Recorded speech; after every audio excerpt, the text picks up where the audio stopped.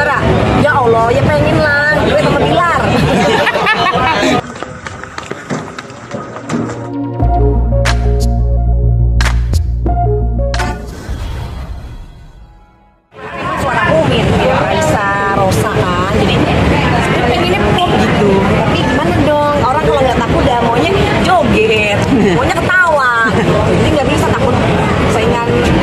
saingannya tuh berat gitu kalau sama Teh Ocha, sama Raisa, sama penyanyi-penyanyi pop gitu.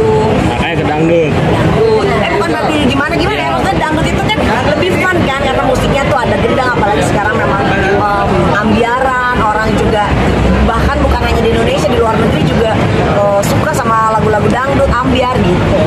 Ada Pengen duit nggak masih itu Lesti? Lesti, Lesti Kejora. Ya Allah, ya pengen lah. Gue sama Bilar. Kenapa? ya lagi pakai nanya ya kan penyanyinya kan memang Lesti. Iya. Eh, dia juga waktu itu aku pernah nyanyiin lagunya Lesti bareng sama Pasha Ungu. Gitu. Ya Terus- memang suaraku sama Lesti ya 11 Dua bulan. bulan. Ini wartawan ngeselin ya.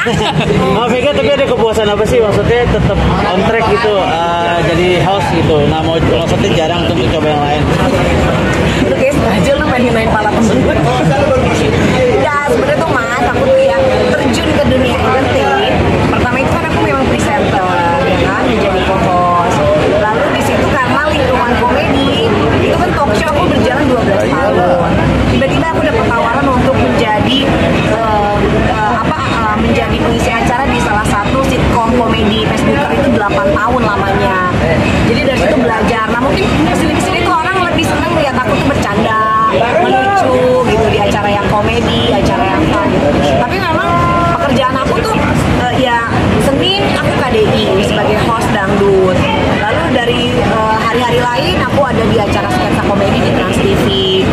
ada juga konser-konser luar kota dan juga tetap off air. Jadi sebenarnya sih menurutku kenapa aku enjoy dan betah ya karena pertama aku masih percaya TV, dipercaya oleh pemirsa dan juga fans aku dan yang ketiga aku merasa bahwa pekerjaan aku tuh variatif. Nanti aku nge-host, kalau aku lagi kangen mau melawak istilahnya uh, ada ada media ada ada wadahnya untuk aku bisa ngelawak di program tersebut. Jadi ya nggak bosen gitu.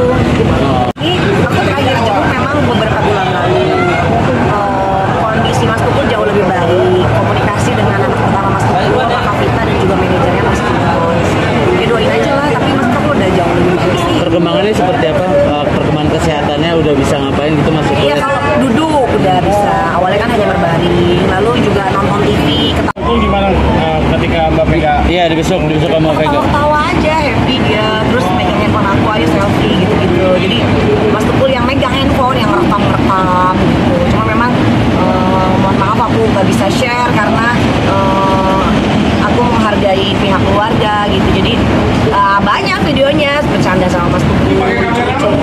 Sempet nangis nggak mereka? Nggak Ketemu dia? nggak boleh lah Enggak, Mau- mereka sempet nangis nggak? nggak boleh karena menurutku Mas Tukul itu butuh orang yang support kekuatan yang dia butuhin gitu Mas Tukul aja bisa berjuang melawan sakitnya masa aku datang nangis jadi aku harus tunjukin meskipun sebagai sahabat ya sebagai adik aku merasa bahwa kaget dan sedih dengan kondisi Mas Tukul sekarang tapi ya ya enggak lah nggak boleh lah harus kasih semangat Tapi masuk dia- Tukul, masuk kuliahnya itu udah udah maksudnya lancar nggak sih untuk bicaranya aja. Masih masih maksudnya sering check up kan masuk kuliahnya ke rumah sakit. oh iya masih uh, bolak-balik fisioterapi Kalau kata manajer maksudnya perkembangan dari dokter eh, apa sih eh, keterangannya? oh nggak tahu itu masih mana yang tahu Kalau Tapi dia kenal kenalin ini nggak? Kenalin pegang nggak kalau? Ingatannya seperti itu. Kenalin ya. Dia ketawa-ketawa kenalin